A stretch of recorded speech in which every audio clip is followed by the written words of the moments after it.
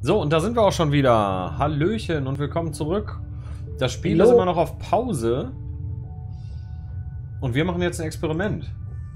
Ja, aus Gründen.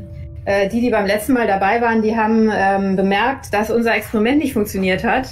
Wir hatten versucht, ähm, Wassertemperaturunterschiede und die Bewegungen, die sich dann äh, durch die Temperaturunterschiede ergeben, Mhm. zu, darzustellen.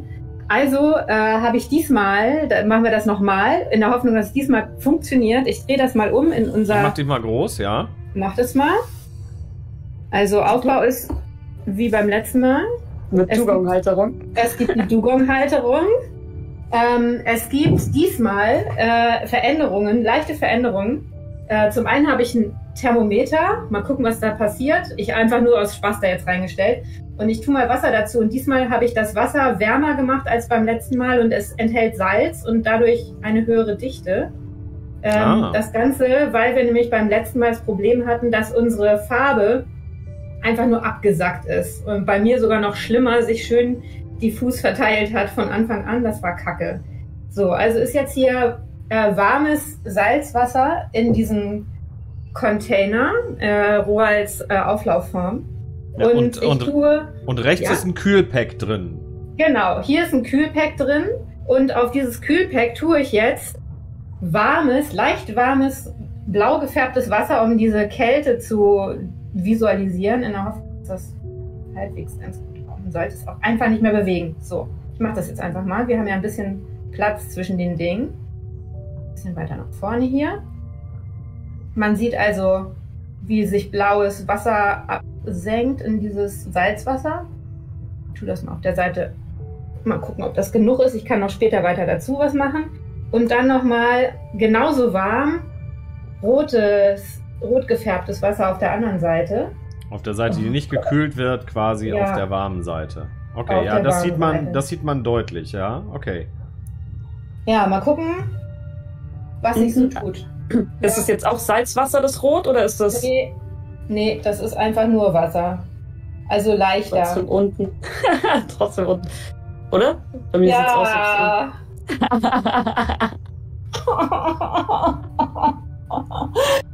ich glaube, es war zu viel Druck in meiner Hin. ja, ich glaube, das darfst du nur so reintropfen.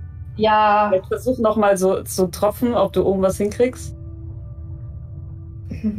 Es hatte übrigens, ähm, Miriam heißt sie, ne? Diese, die Ja. Adventskalender macht, die hatte sich nämlich bei uns gemeldet ähm, aufgrund und hat uns ein bisschen Verbesserungstipps gesagt mit dem Experiment,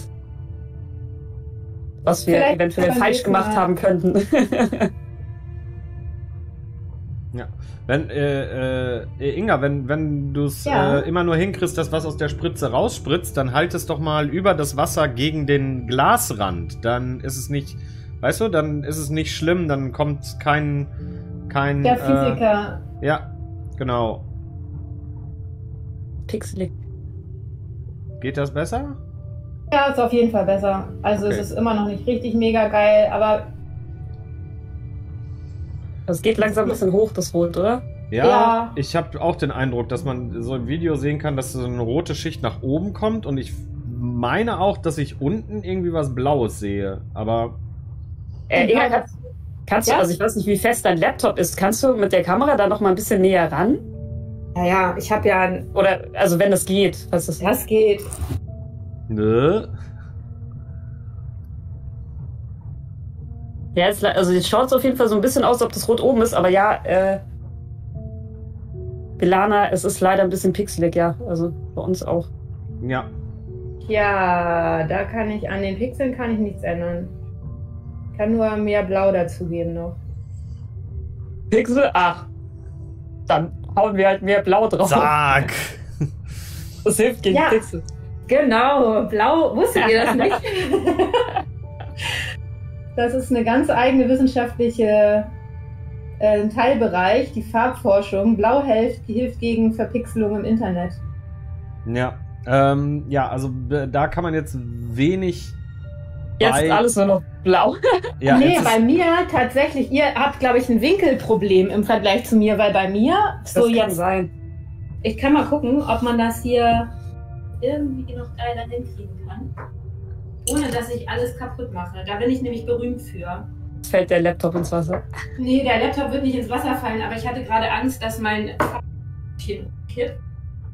Aber hier unten drinne sehe ich von meiner Perspektive, ich weiß nicht, ob der Laptop das auch hinkriegt, ähm, dass tatsächlich so dieser Kreislauf, dass das Blaue absackt und langsam rüberschwappt, während das Rote an der Oberfläche ein bisschen mehr ist.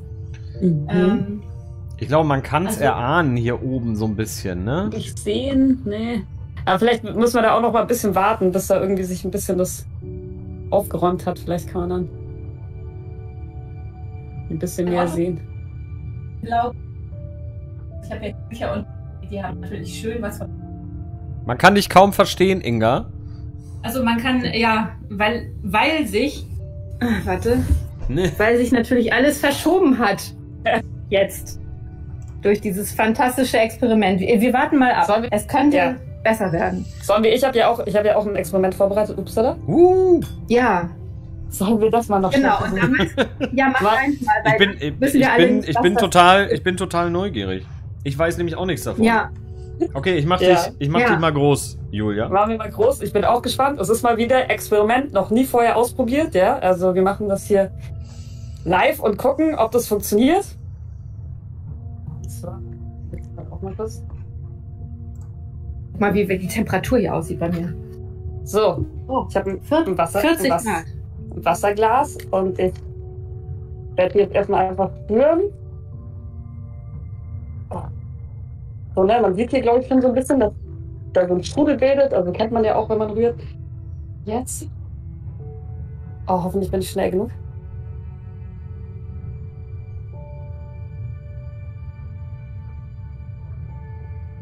Das sehen. Doch, ich, ich Ja. behaupte mal, ich kann was sehen. Und zwar, dass der Strudel in Blau weiter nach unten kreiselt. Also Ja, wie die Wassersäule, die du vorher gerührt hast. Ja, genau. Das ist geil. Ich sehe das bei mir richtig schlecht. Ich sehe es quasi auf dem. Bildschirm besser. Ich bin auch fantasiebegabt. Nein, das hat tatsächlich, weil der, weil der Laptop das so, so spiegelt. Ähm, genau, man hat, man hat halt diese Ja, man sieht's gut. mit dem, mit dem Weißen. Oh ja, oh ja. Das macht es noch viel schöner. Ja, Ja, vielleicht weiß ich gleich nochmal mit dem, das hätte ich vorher mit dem Zettel. Genau, Also, also das war super. wir machen es einfach nochmal. Ich habe ja was vorbereitet. ah. Aber man weiß ja nie, ne? Deswegen genau. Und dann mache ich mit dem weißen Hintergrund, dann sieht man das ein bisschen deutlicher. Und es kann auch sein, dass.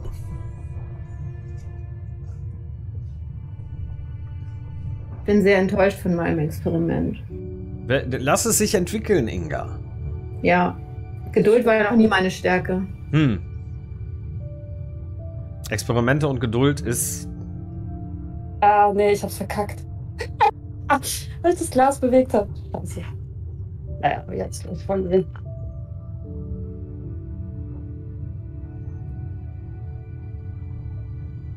Oh, das, oh, das ist super. Das ist Ja. super. Der, der blaue Strudel vor deinem Gesicht. Ja.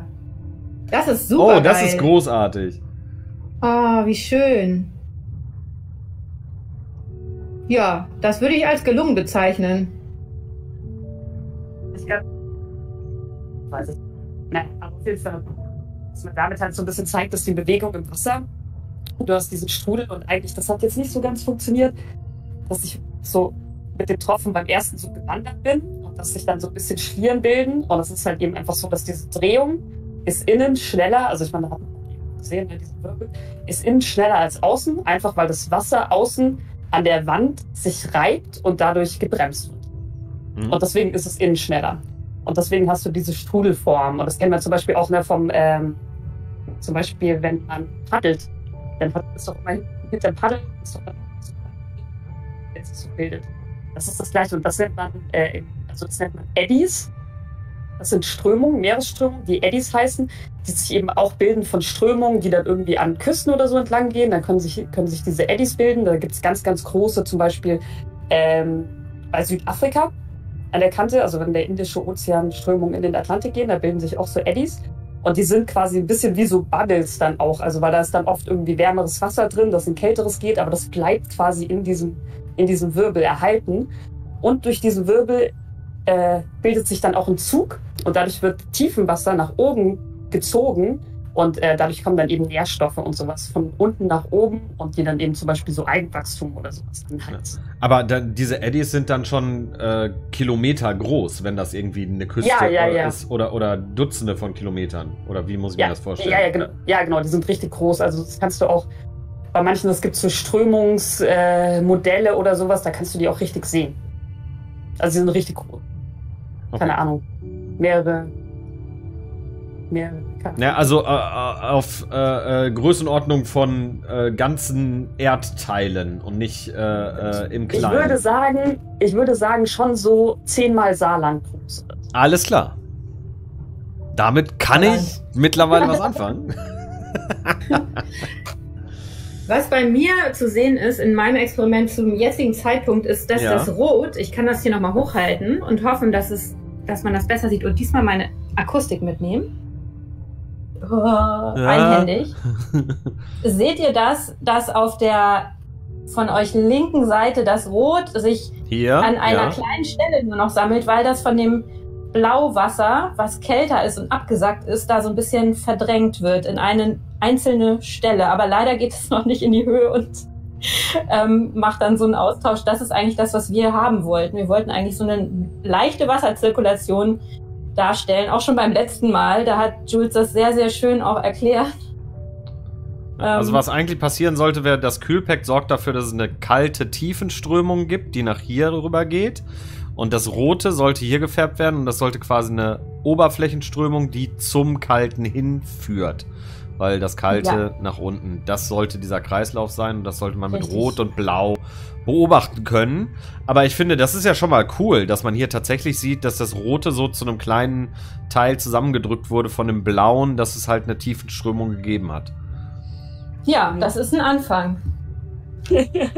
Ja. Der Anfang des Golfstroms im Hamburger Wohnzimmer in Unperfekt. Ach so.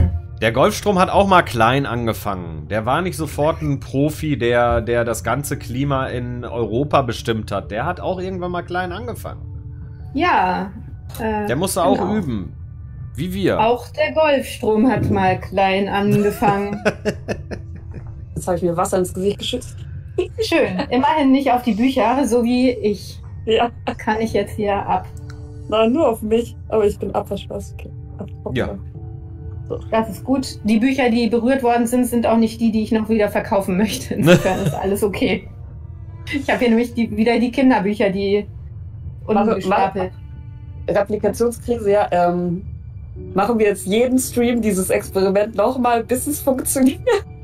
Das können wir machen. Bei mir ist irgendwann muss André als Physiker das mal machen, weil vielleicht geht's bei ihm besser. Okay, nächstes Mal probiere ich das Experiment mal. Ja, mach du das doch mal. Ich weiß auf jeden Fall, dass ich ähm, temperaturtechnisch mit 40 Grad Wasser gestartet bin und Okay. durch das Kühlpack jetzt schon 4 Grad auf 36 Grad verloren habe. Und ich hatte äh, eine mittelgroße Masse an, also so vielleicht 50 Gramm Salz in mein 1 Liter warmes Wasser getan, das die Basis gebildet hat. Und meine ähm, gefärbten Wasseranteile, die ich da reingetan habe, die bestanden aus der Lebensmittelflüssigfarbe und heißem Wasser, weil ich gehofft habe, dass dann das heiße Wasser einfach noch oben drauf bleibt. So, war meine tolle Logik. Okay, ja.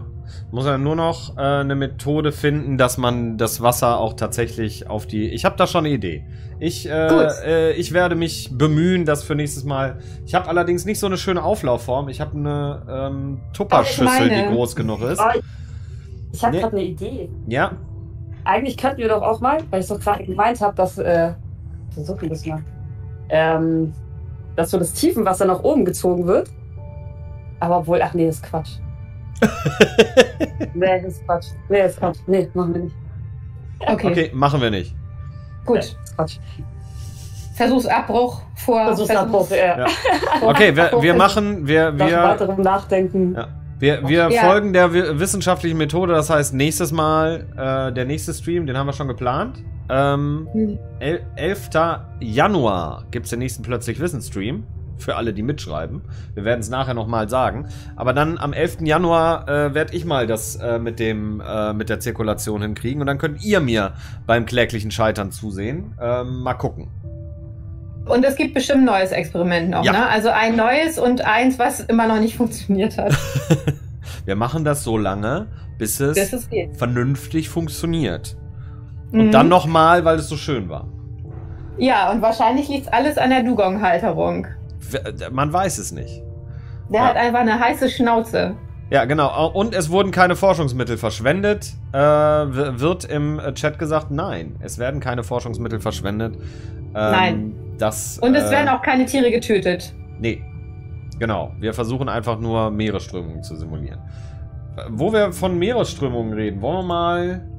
ähm, Steigen wir wieder ein in die Meeresströmung. Steigen wir mal wieder ein in die Meeresströmung. So. Ähm, in der Atolldämmerung, da müssen wir jetzt zu dem nächsten. Äh, wir spielen Beyond Blue zu dem nächsten. Ups, ich wollte doch diese Fische scannen. Zu dem nächsten. Ähm, ich weiß nicht mehr, wer, was für ein Wal das war. Wahrscheinlich Buckel. Nee. Pot, Potwal, oder? Nee, Buckelwal, Buckelwal. glaube ich. Hier sind auch nochmal Fische, die ich scannen kann. Ich habe den Dugong wieder befreit. Die Dugong-Halterung ist erlöst worden. Ja. Da sehe ich noch was. Scheiß, Scheiß Experiment. Weißflecken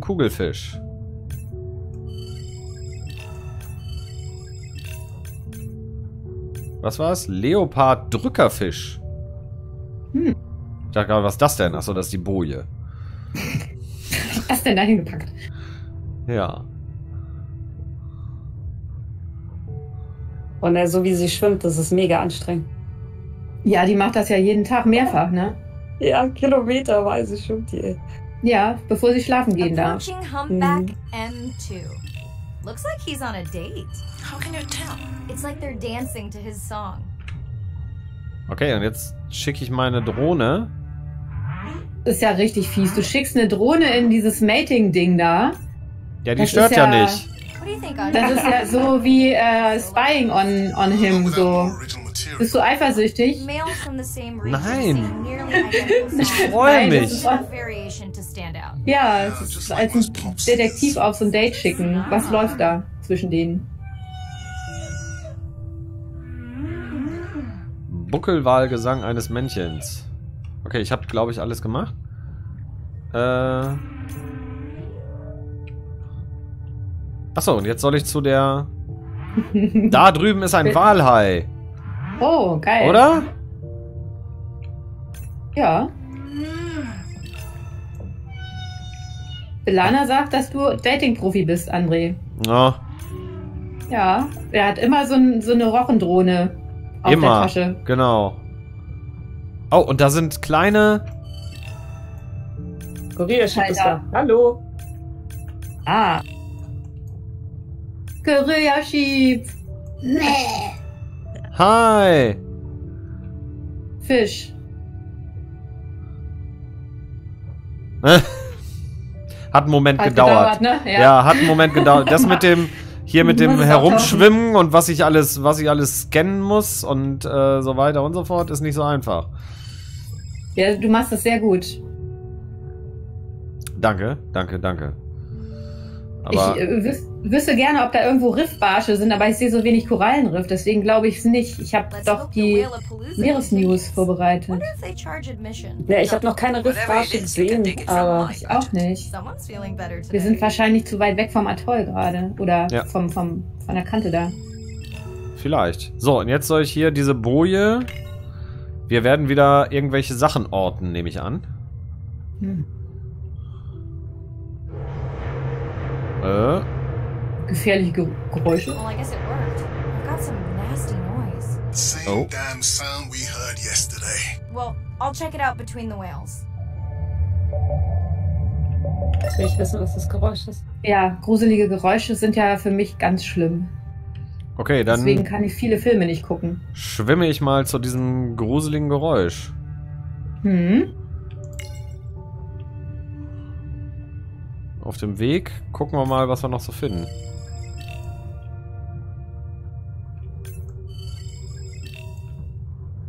Riesendrückerfisch.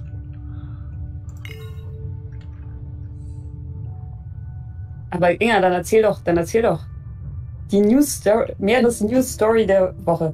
Ja, die Ja, der bevor ich da Woche. jetzt hinsch hinschwimme zu den Fragezeichen.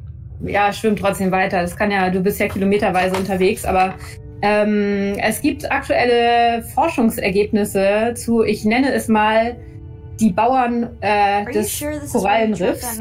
Das sind die Riffbarsche. Also eine beziehungsweise zwei Arten von Riffbarschen.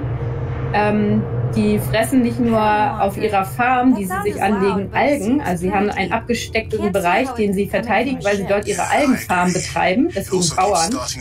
Ähm, und die haben sich Haustiere sozusagen zugelegt, weil die ihre Algenfarm sehr gut verteidigen, ist das eine Nische geworden für Schwebegarnelen, die übrigens auch Wombatgarnelen oder so genannt werden, weil die, ja, weil die haben so eine äh, Bruttasche vorm Bauch, um ihre Jungen großzuziehen. Also so wie Kängurus und quasi so Mini-Kängurus unter Wasser. Und wir sollen etwas trinken. Ja, ich muss gerade reden, aber die anderen können trinken.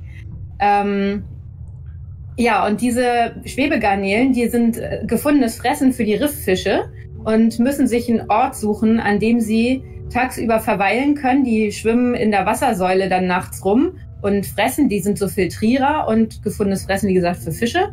Und die Riffbarsche halten die sich als Haustiere quasi. Ähm, über die Zeit hat sich das so entwickelt, äh, dadurch, dass einige Ty Typen von Riffbarschen ihre Algenfarmen so betreiben, dass sie die sehr stark verteidigen. Julia kann ein Lied davon singen. das sind angriffslustige kleine Fische. Ähm, dass die äh, nicht nur ihre Algenfarm verteidigen, sondern auch die Schwebegarnelen, die in ihrer Algenfarm Zuflucht finden. Die fressen also nicht mehr die Schwebegarnelen, sondern passen darauf auf, dass niemand die Schwebegarnelen verletzt, während die in der Algenfarm rumhängen tagsüber. Denn dort sind sie geschützt. Und der Vorteil für die Riffbarsche ist, dass die Schwebegarnelen auch tagsüber auf Toilette gehen müssen und ganz, ganz fruchtbaren Dünger für die Algenfarm abgeben. Quasi die Kühe, die Gülle. das ist wie, wie auf einer Farm bei denen. Okay. Also die, ja, es ist ganz cool. Das haben die gerade äh, publiziert, jetzt Anfang des Monats, ähm, dass die in Belize da so eine Forschung zu gemacht haben. Äh, es gibt ja ein paar Tiere, die nicht unter Wasser in so einer Symbiose leben.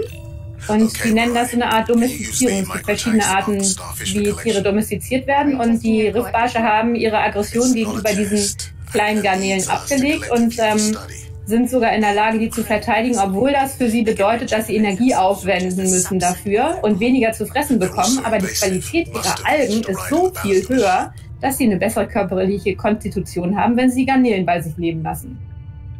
Ja, okay. Arena, how many of these do you need? I'm missing so sieht das aus. Aber wir haben immer noch keine Riffbarsche gesehen. Und es sind auch nicht alle Riffbarsche, die das machen. Das sind zwei Arten, die das so handhaben mit ihren Garnelen. Und es sind auch immer über Generationen die gleichen Garnelen, die da wohnen. Die kehren immer zu ihrem, zu ihrer Algenfarm vom Riffbarsch zurück. Das heißt, die, die, äh, die domestizierten äh, ähm, Garnelen äh, sind, freuen sich auch über diese äh, Symbiose, sage ich jetzt mal. Ja, die haben die Nische gefunden da sozusagen, also eine Safety-Nische.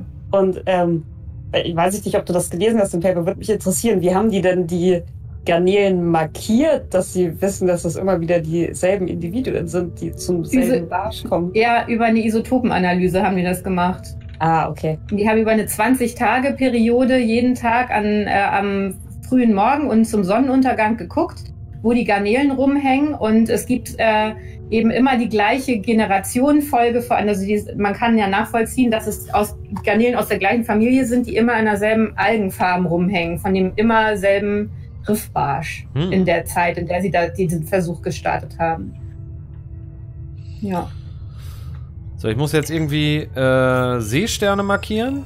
Und ich merke hier unten liegt ganz schön viel Müll rum. Also, das ist. Äh, das hatten wir ja auch auf diesem, auf diesem Whiteboard im, äh, äh, im U-Boot irgendwie gesehen, ne? Also, Mhm. ah, da sind noch mehr Seesterne. Und jetzt habe ich drei markiert. Die Garnelen, sie stehen auf den Geruch von dieser Drückerfischart. Die da, da schwimmen die deswegen immer hin. Die, die riechen quasi ihren, äh, nicht Drückerfisch, ihre Riffbarsche. Auf Englisch heißen die ja ähm, auch Farmerfisch. Mhm. Ach, Äh, haben, haben, die auf, haben die auf Deutsch auch irgend so einen Namen? Nee, also ich habe keine richtig geil. Also Longfin Damselfish ist äh, die auf Englisch genau diese Art und ich habe nur Riffbarsch gefunden äh, in der Übersetzung und ich finde auch die Schwebegarnele nicht so richtig geil. Es gibt Schwebegarnele und Glaskrebse, aber eigentlich heißen sie Mysidia. My, nee, Mysida. Ich weiß aber auch nicht, wie man das ordentlich ausspricht. Ja, und diese ähm, Schwebegarnelen sind äh, so bis zu 2,5 Zentimeter lang mit ihrer kleinen Babytasche vorm Bauch.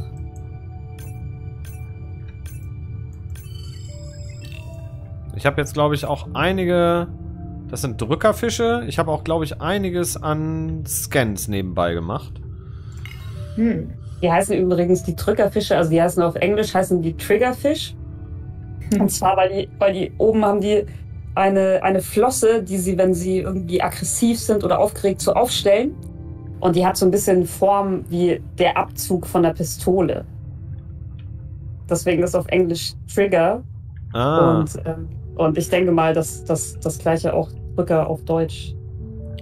Trigger wurde mit Drücker übersetzt. Auch interessant. So, jetzt. Ja. Ja. Jetzt scannen wir wieder nach Geräuschen. Gerichtsschieb äh, schreibt Seepocke vom letzten Mal an. Das ist sehr nett, danke. Ja, wo der wohl ist, eine Seepocke muss eigentlich immer unter Wasser sein.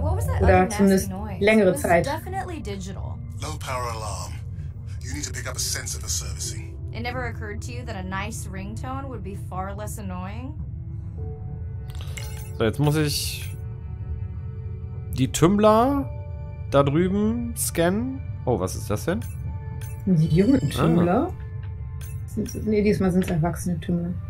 Und jetzt habe ich wieder die Drohne am Start und muss irgendetwas. Die Seepocke liegt auf der Couch und will gleich Fußball schauen. Das ist ein Ja. Verhalten, was in den Papern so nicht beschrieben wird. Kannst du ihm ausrichten. Wer weiß. Eine ganz Alles neue. okay, wir, wir machen ja auch nur noch so 20 Minuten, ne? Ja. Ja. Jetzt weiß ich wieder nicht. Was du tun musst. Ja, Oder in die, die welche Richtung Steuerung was dieser, dieser musst. Drohnen ist nicht so einfach, muss ich sagen. Ich möchte auf die andere Seite des Delfins kommen und es kommen ja Körperteile von anderen. So. Ein toller Buchtitel auf der anderen Seite des Delfins. Ja. So. Übrigens hier, übrigens hier sieht man total schön, ne? Die Delfine, die schwimmen immer durch diese Koralle durch. Ja. Und da seht ihr, und das habe ich, glaube ich, das letzte Mal erzählt, dass das eben beobachtet wurde und man davon ausgeht, dass das irgendwie für die eventuell ne, irgendwie einen medizinischen Effekt hat. Also dass die irgendwie antibakteriell ähm, wirkt, die Koralle für die, für die Delfinhaut. Okay. Mirai, please, please, Das ist das. Unterwasserspa. Es gibt auch, auch so richtig coole Orte, äh, wo die ganzen ähm, Wasser unter, also die ähm, Schildkröten sich sammeln, weil da die Putzkolonnen der Fische rumhängen und die dann Schlange stehen, die Tiere, um, um quasi Zugang zum Spa zu bekommen bei den Fischen. Ja, und wir haben jetzt Genau, auch gerade eine Probe die von diesen, von diesen Korallen genommen. Es wird wahrscheinlich genau das thematisiert werden, auch noch im Spiel. Das können wir uns nachher im U-Boot angucken, beziehungsweise wahrscheinlich im nächsten Stream. Ja, ich hoffe, dass da irgendwann auch so eine Putzer, äh, so ein Putzerort kommt, wo dann so Schildkröten rumhängen Kommt garantiert, würde ich sagen. in der Schlange. Horst den Gorilla schiebt, ja, das kann auch tatsächlich sein, dass das nur eine Massage ist oder sich einfach nur gut für die anfühl, anfühlt. Kann auch sein. Vielleicht hat das keinen anderen Zweck, sondern ist einfach nur irgendwie cool. So wie wir, keine Ahnung, die kleinen, bei der Plastikverpackung, die kleinen Bläschen zerdrücken, weil sich das halt einfach.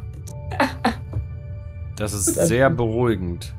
Ja. Das ist wie Kiesgartenhaken, nur mit Plastik. So, äh. Ach so. Muss irgendwo da unten hin. Äh, wahrscheinlich hier, wo die Haie schwimmen. Den Hai. Hey Andre, those reef sharks like your ringtone. Muss den? Peilsender. It goes to sleep when the power is low to preserve the data.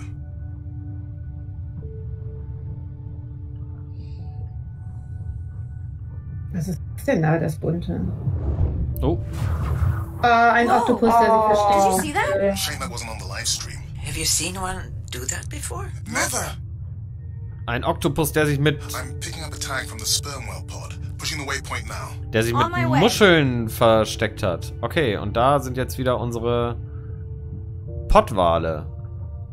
Sorry, sharks. Äh, dieser, off the menu. Die Dokumentation äh, auf Netflix noch über den Oktopus. Wie hieß das noch? Äh, auf Englisch heißt sie mal Octopus Teacher. Ich weiß nicht, Ja. wie auf Deutsch heißt. Ja. Mein Lehrer, der Oktopus? Ja, ich glaube ja. Dankeschön. Ich glaube, das war, ja, ich habe den schon gesehen, The aber baby's back with the rest of the pod. What's it doing? Mein Lehrer, der Krake heißt. Äh, ja.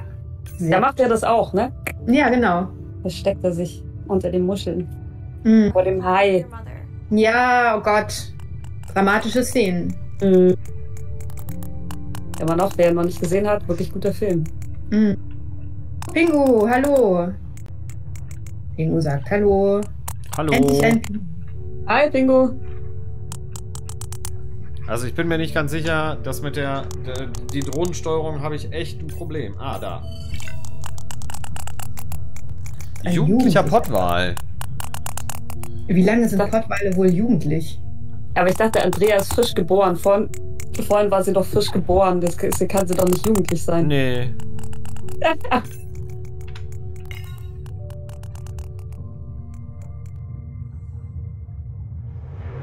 Übersetzungs. You've got to be kidding me.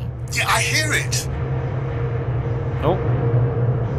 Wir hören wieder irgendein technisches Geräusch. Es Vielleicht- verscheucht die Pottwale.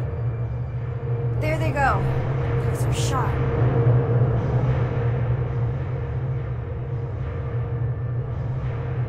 Can you send the sub to pick me up? I'm done for now.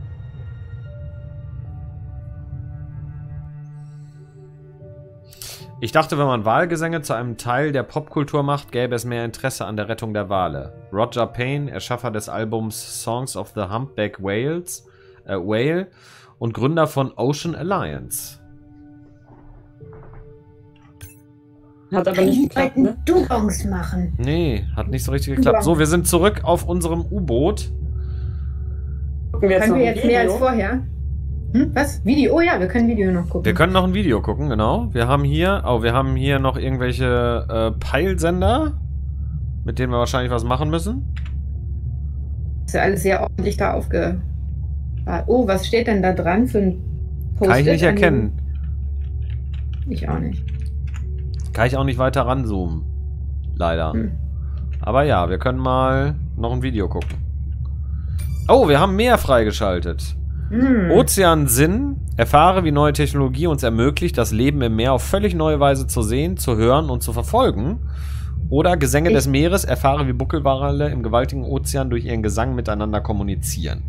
Ich bin für Heranwachsen eines Pottwals, weil wir gerade von Kindheit zu Jugendalter innerhalb von einer halben Stunde gekommen sind. Und da würde ich doch gerne mal mehr drüber wissen. Alles klar. Dann gucken wir uns Heranwachsen eines Pottwals an. Wie gesagt, die Videos sind aus äh, ähm, sind von dem Team von äh, äh, Blue Planet 2 zusammengestellt, beziehungsweise Sachen, die nicht drin vorkamen oder Behind the Scenes oder sowas. Dann gucken wir uns das mal an. My name is Shane Garrow, and I'm the founder of the Dominica Sperm Whale Project. I've been following the lives of sperm whale families in the Caribbean Sea based off the beautiful nature island of Dominica. I've had the sort of greatest honor to spend thousands of hours in the company of the sperm whale families. And over the last 15 years, we've come to know 30 different families. We know about 10 of those personally. My research focuses mostly on the connection between these families' lives and what they say to each other, and how they succeed in the ocean by living in these small families. They live these rich and complex lives in part of the ocean that we find difficult to even explore. Sperm whale society is matrilineal, meaning it's grandmothers and daughters that will live together for life.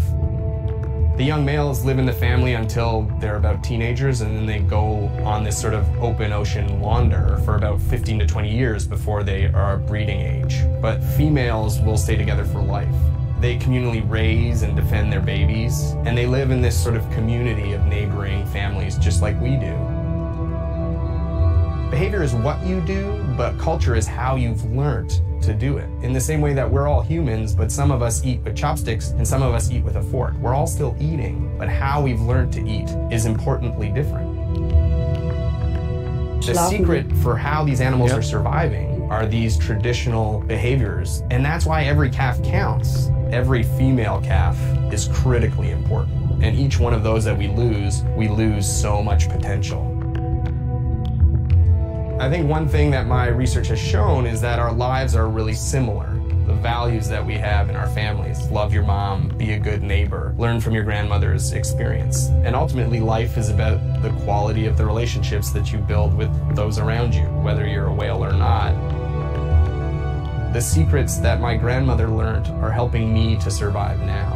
Ensuring that these grandmothers survive to be grandmothers to share their stories, and ensuring that these babies live long enough to learn them is what's going to enable these animals to be around for a long time.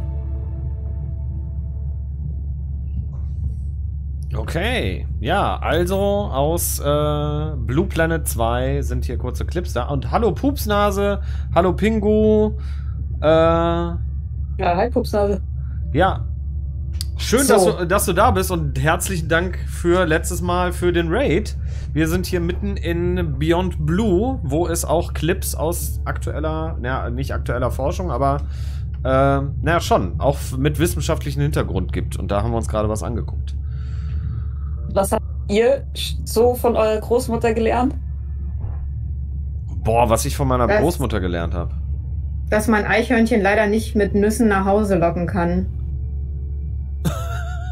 Du, du sagst das, immer. du sagst das, du sagst das so, so frustriert und traurig, Inga. Ja, es war auch, es ist auch traurig, weil ich bis jetzt, ich wollte früher immer ein eigenes Eichhörnchen haben und meine Großmutter war so nett, mit mir zusammen eine Spur zu legen. Aber wir haben es nicht geschafft, das anzulocken. Oh. Es war auch so ein One-Time-Aktion. Sie hätte vielleicht noch dazu sagen müssen, dass es realistischer wäre, wenn man jeden Tag was mit einem Eichhörnchen versucht und nicht nur einmal es in die Wohnung locken wollen. Aber Ja. sie hat, sie war für mich da. Sie hat das probiert. Ja. Ja, Pupsnase, danke, äh, dass du die Themen, über die wir sprechen, wichtig findest. Das freut uns wirklich sehr. Und Pingu hat von seiner Großmutter gelernt, wie man Buttermilchwaffeln macht. Und äh, das ist ein wichtiger Skill. Ja. Das, äh, Ich überlege gerade, ich überlege gerade, was ich von meinen, von meinen Großmüttern alles mitgenommen habe, noch gelernt habe. Hm. Auch, mir wäre auch Essen würde mir auch einfallen. Aber dann auch eher so ein bisschen eher indirekt so über meine Mutter.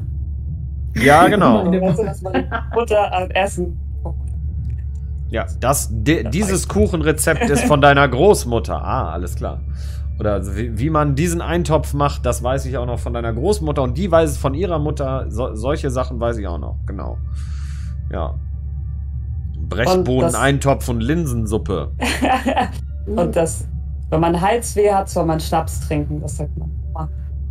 das habe ich von einem Freund gelernt. Tequila. Und ey, meine Oma wird in einem Monat 100. Also Oh, krass. Was richtig gemacht haben, ne? Ja, hört auf diese Frau. Ja. Es lohnt sich. Schnaps desinfiziert bei Halsschmerzen den Hals. Ja. Sehr Äh, gut. okay, äh, noch eins angucken oder gehen wir durchs, äh, wollen wir noch eine Mission anfangen? Ne, ist ein bisschen knapp, ne? Wir müssen äh, wegen Familienangelegenheiten wollen wir um 18 Uhr den Sack zumachen. Ähm, jetzt wollen wir uns noch ein paar Sachen, die ich gescannt habe, angucken, vielleicht. Dann können wir zu dem Hologrammtisch rübergehen. Ich gucke mir mal hier kurz mein Experiment an. Oh ja, wir können noch mal einen Ja, Blick auf das Experiment, Na klar. äh, äh, Blick auf das Experiment werfen. Warte. Aber die du ja, die Dugong-Schnauze hat leider ihre, naja, aber es geht. Ist nicht so Ja. viel passiert. Dann Also, zeig das mal. ich übrigens- mach dich mal groß. Ja. Ich wollte gerade sagen, André, noch- um noch, um noch eine Ähnlichkeit dieses Spiels zu mir zu bringen, ist, ähm, ich mache auch nie mein Bett. Und die Dame im Spiel macht das anscheinend auch nicht gerne. Also man kann ein bisschen sehen, Ja. dass das Rot jetzt tatsächlich, ich kann es leider nicht von unten nach oben zeigen, also in der, in der Breite Von der zeigen. Seite zeigen, meinst du? Ja, danke, das meine ich. Ja. Dankeschön. Bitte? Ähm, aber man sieht, dass das Rot in Richtung Thermometer gewandert ist. Also schon in die Richtung, in die es eigentlich wandern müssen, wenn also es weiter hier oben sieht man so einen kleinen. Hier war, hat sich eben das Rot versammelt und das ist jetzt an der Oberfläche, wenn man von der Seite drauf guckt. Ja, das kann man von der Seite nicht mehr erkennen. Die Seite sieht lila aus. Ah, Das ist okay. Ein sehr schönes Farb. Ja.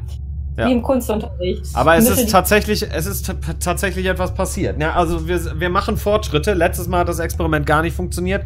Jetzt haben wir auf jeden Fall einen blauen tiefen Strom schon gehabt durch das Kühlpack und blaue Lebensmittelfarbe, dass es unten am Boden lang floss und eigentlich sollte rote Farbe an der Oberfläche der Schale zurückfließen. Ähm, ich versuche das nächstes Mal äh, dann noch besser zu machen mit den, mit den Erkenntnissen von Inga und Julia, weil wir bauen ja alle aufeinander auf. Ja, von der Seite kann man wirklich nichts mehr vom Roten sehen. Leider. Ja, aber, aber von oben. Ja, aber von, o- also man hat echt in der Kamera leider echt nur einen Schatten. Du hast es gut beschrieben, dann konnte ich mit der Maus drauf zeigen, was ich glaube, was du Kann- meintest. Ha, Ha, Das ist, ist alles noch blauer als vorher, Inge. ja, oh, das, schade. das hilft leider nicht und irgendwas ist Och, im Mann. Weg. Ja, mein Arm. Ach so. Entschuldigung. Schade eigentlich, weil äh, jetzt so in Live sieht man das noch deutlicher mit meiner schönen UV-Lampe. Naja. Entschuldigung für das Geräusch. Äh, Technik. Piep, ähm, berichte uns dann bitte, ob es bei dir geklappt hat. Und wenn ja, dann musst du uns sagen, was wir falsch machen. Ja, bitte. Ria Schieb will das Experiment mit seinen Kiddies an Weihnachten. Ja, genau. Send Pictures. Wir haben auch einen, Ja. einen äh, Discord-Server. Kommen da gerne vorbei und schmeißt da mal äh, ein Bild davon rein, wenn ihr das, äh, wenn ihr das zu Hause nachmacht. Ähm, Das wäre super. Äh, Und da kannst du dich vielleicht auch tagelang mit beschäftigen. Also jeden Tag mal neu starten, das Experiment. Wenn es beim ersten Mal nicht klappt. Oder mit verschiedenen Konditionen. Also warmes Wasser, etwas kälteres Wasser, warmes Wasser mit Salz, warmes Wasser ohne Salz, kaltes Wasser mit oder ohne Salz. In der flüssige Badewanne. Farbe in der Badewanne, In der Pulver, Badewanne. Äh, Lebensmittelfarbe einrühren. Also es gibt so viele Möglichkeiten. Haben wir jetzt Ja. hier einen Riffbarsch mit dabei? ich guck mal. Ähm, grünes Schwalbenschwänzchen, Soldatenfisch, glänzender, Sch glänzender Schleimkopf sieht interessant auf. Schiffshalter. Nee, ich glaube nicht, dass wir hier einen Barsch mit bei haben. Ich guck mal weiter unten. Äh, Walhai. Nee. Nee. Glänzender Schleimkopf will ich mir mal angucken. Weißt du etwas zum glänz Toll. glänzenden Schleimkopf, Julia? Er hat auch ein Nee. geiles Auge. Ja. Nee. Ich kann euch mal in den Link einen Link von so einem äh, Riffbarsch packen, damit ihr mal wisst, was wieder aussehen würde. Die Pharmafische, die wir vorhin hatten. Ihr Okay. Ja. So, Riesendrückerfisch. Ja, das sind die Bösen. Die beißen. Und zwar, und wenn die beißen, äh, Wurdest du schon mal von einem von denen gebissen? Nee. Äh, nee, äh, Gott sei Dank nicht. Ich wurde einmal angegriffen. Das ist tatsächlich, ähm, hatte ich schon mal erzählt, bei den Videos, die vorne laufen, in dem Barracuda-Schwarm. Da war einer unterwegs, der voll genervt hat. Äh, nee, mich, also sonst mich noch nie, aber ich habe es öfter schon mitbekommen und ich habe auch echt einmal ähm, das mitbekommen, da hatte er echt so die Flosse einer Dame zerlegt. Also wirklich, ne, da echt solche Stücke rausgebissen. Und äh, habe auch schon Also die, die als von drei. der Taucherin meinst du? ja, ja, ja, ja, ja, von einer Taucherin. Die, die Taucher- Also, äh, okay, ich bin jetzt eben an denen vorbeigeschwommen. Die sind, das sind schon solche Oschis, oder? Ey, Die sind richtig groß, ja, ja, das sind echt. Und die haben richtig dicke Zähne, Mann. die stehen so raus. Macht der noch was? Sieht man das da? Äh. Riesendrückerfisch. Nee, ich Die haben so glaube. richtig so, so ein bisschen so Nee. Hasenzähne. Ah ja, nee, äh, die haben richtig fette Zähne. Vielleicht bei dem anderen. Wir haben noch einen die sehen aus, als hätten sie so ein menschliches Gebiss so ein bisschen. Schade. Ich kenne die nämlich auch aus dem Korallenriff. Die sehen so witzig aus mit ihren Zähnen, aber Ja. ich bin noch nie angegriffen worden von denen, Gott sei Dank. Nee, die haben wohl manchmal, also die machen das eigentlich nur, wenn sie brüten. Hm. Ähm, da kommt wieder der Walhai. Der kommt ja jedes Mal vorbei, wenn man da einen Fisch Ja, ich mach mal den Walhai an. Ähm, und manchmal, also es kann auch sein, dass sie quasi ein bisschen psychisch gestört sind oder so. Also es ist wohl, dass in so Tauchgebieten, die sehr hoch frequentiert sind, dass die halt manchmal dann quasi einfach anfangen, Tauch anzugreifen. Vielleicht, also vielleicht auch einfach zurecht, weil sie genervt sind. Hm. Fair enough. Der sieht sehr klein aus im Vergleich zu dem Tier. Ah, ja, jetzt, man kann die Größe machen. Ja. Und können wir Geschlecht bestimmen? Ah ja, genau. Geschlecht bestimmen, warte.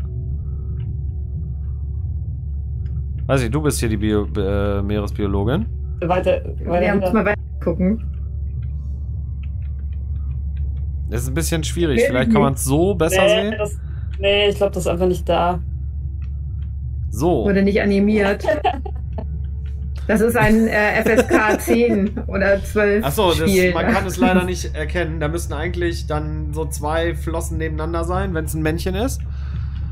Was? Ich muss mal googeln.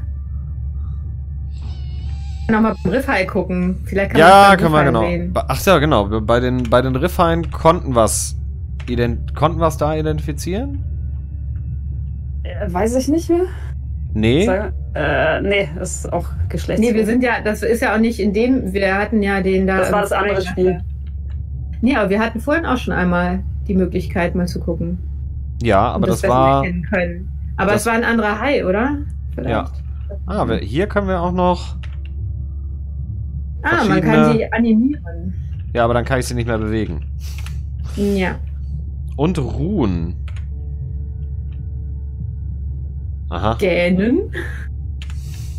Ja, das ist äh, Riffhai, also es kommt immer auf die, auf die Haiart an, aber die können halt auch rumliegen und schlafen, weil die halt aktiv Wasser durch ihre Kiemen pumpen können. Aber pelagische Haie, also die im offenen Meer rumschwimmen, wie weiße Haie zum Beispiel, ähm, die müssen immer schwimmen, damit Wasser durch die Kiemen läuft und die atmen. Ja. Ich glaube, bei, bei den. Nee, bei den Tümmlern ha- hatten wir auch nicht gesehen, sondern, warte, ähm, war das vielleicht bei denen hier? Genau, da hatten wir geguckt. Da sagtest Genau, du, das ist ein Männchen. Äh, ein Weibchen. Nee, ich hab, ja, aber ich, ich Google lieber nochmal. Ich versuche jetzt gerade hier die Geschlechtsteile des Walhais zu finden. Das ist nicht Okay. so einfach. Bilder davon. Ist es nicht in deinem äh, Säugetier-Unterwasser-Bestimmungsbuch mit drin, vielleicht? Oder sind da nur Nee, da, Fische? sind, da, da, ist immer, da ist nur allgemein. Also bei dem Haibuch ist nur, glaube ich, allgemein die Geschlechtsteile und nicht für jede Art. Hm. Bei Dugong sieht man das auch nicht, außer wenn sie sich paaren. Außer dem Video. Ja, das Ja, Porno-Video. also äh, genau, äh, Tier, äh, Tierpornos werden kommen. Also nee, nicht Irgendwann. Tierporn, sondern Paarungsvideos, Entschuldigung. Paarungsrituale, sagen wir mal vielleicht, so grob gesagt. Was wir von Unterwassertieren bei der Paarung lernen können. Oder auch nicht. Man kann, man, dass man Geschlechtsteile schlecht im Internet findet, so weit ist es schon gekommen. Ja, Ja, das- ja. Das Problem ist, ich versuche jetzt von Rochen Geschlechtsteile zu finden und ich irgendwie Sex Organs Ray eingebe, dann kriege ich irgendwie so. So. Ja, Ich will es gar nicht sagen. ja, bei, bei, Aber mach doch mal äh, bei Scholar. Guck doch mal bei Scholar. Ja, ich, ich gucke, ich mache Bildersuche, ich kriege Röntgenaufnahmen mit, wo Leute eindeutig sich hinten irgendwas reingesteckt haben. Das ist nicht. Was schreibt, ich freu dich auf die. Werbung auf den anderen Seiten dann. Aber kannst du nicht bei, gibt's bei Scholar auch keine, ähm, nee, Bildersuche? Ja, weiß ich nicht. warte mal, hier, ähm, äh, Ja, ich muss, das muss ich noch mal in Ruhe nachgucken. Auf die Schnelle krieg's nicht hin. nee. Nee, nee. Das ist ja, also, Es ist ja auch ein interessantes, weitreichendes Thema. Da kann man ja eine ganz eigene Folge draus machen. Ja, auf jeden Fall kann man sagen, äh, uns wird äh, hier Beyond Blue mit äh, Mira, die sehr viel Ähnlichkeit mit Julia hat, weil sie hat ein ähnliches Tattoo auf dem anderen Arm, die Haare sind ganz gut Und äh, sie kann auch toll tauchen, so wie Julia das auch tut.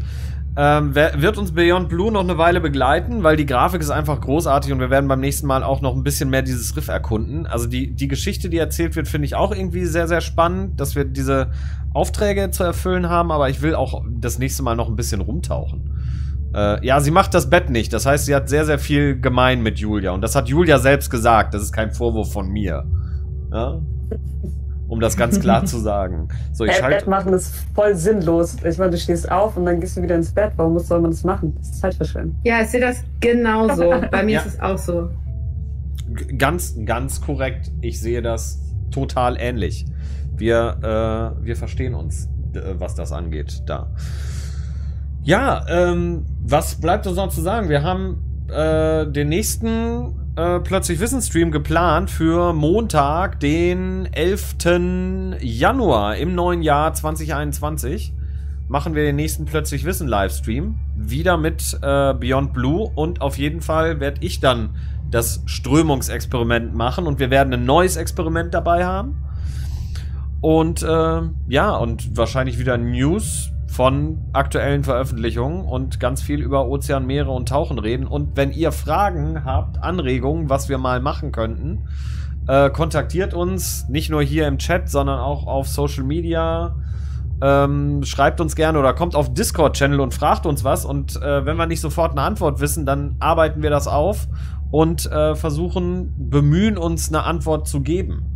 Da haben schon einige lustige Fragen gestellt. Zum Beispiel, warum Meer, warum Wüstensand nicht zum Bauen beiträgt oder können Für Be- Krebse Krebs bekommen. Sich nicht für Beton eignet. Ah ja, genau. Ja, warum Wüstensand sich nicht für Beton eignet. Nee, warum nur Meeressand sich für Beton eignet. Genau.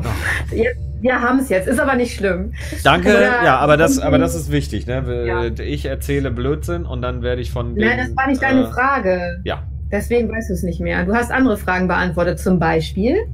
ob der, ob normal Null mit dem steigenden Meeresspiegel neu definiert wird. Und dabei habe ich herausgefunden, dass der, äh, das normal Null sehr, sehr kompliziert definiert ist. In Deutschland unter anderem durch einen goldenen Nagel in einer Kirche im Osnabrücker Land. Ja. Ja. Über Feiertage oder so oder auch nicht. Ja, genau. Plötzlich, äh, äh, plötzlich wissen.de, da haben wir solche, äh, so ein, so ein Zeug äh, ähm, drinstehen. Ja, ansonsten, was, was bleibt mir noch zu sagen? Genau, kommt nach Discord. Äh, Die Mutti kommt nach Discord. Lernt, lernt was von euren Müttern und Großmüttern. Ja, Ja. immer auf die Oma hören. Ist an Weihnachten und Silvester und was jetzt so kommt, bestimmt auch wichtig und gut. Trägt zum Frieden bei. Hört auf eure Mütter und eure Omas. okay, ja, dann äh, herzlichen Dank, dass ihr da wart. Nächster Plötzlich Wissen Stream, 11. Äh, Januar. Und ähm, ansonsten kontaktiert uns, liest das Zeug von uns und stellt uns Fragen. Wir brennen darauf, äh, über solche Sachen zu quatschen. Und das kann sich ruhig auch um Geschlechtsteile drehen. Dann würde ich sagen, Tieren im Meer. Wir mögen Geschlechter. Geschlechtsteile von Tieren Ja. im Meer, genau. Danke, Ja. Inga. Ja, Genau. Und ja, und ihr könnt auch gerne euren Freunden Bescheid sagen, ähm, damit noch ein paar mehr Leute vielleicht äh, zu uns finden. Ähm, Werbung ist immer gut. Ja, zum Abtauchen im Januar. Genau, und äh, äh, genau, sagt es weiter. Unterstützt werden wir von der Robert Bosch Stiftung, das wollte ich vielleicht auch nochmal sagen. Äh, herzlichen Dank dafür. Die haben das ermöglicht, dass wir weitermachen können. Äh, und das war's jetzt von uns. Äh, ich mache euch wieder ein paar schöne Tauchbilder an, die Julia eigenhändig gedreht hat.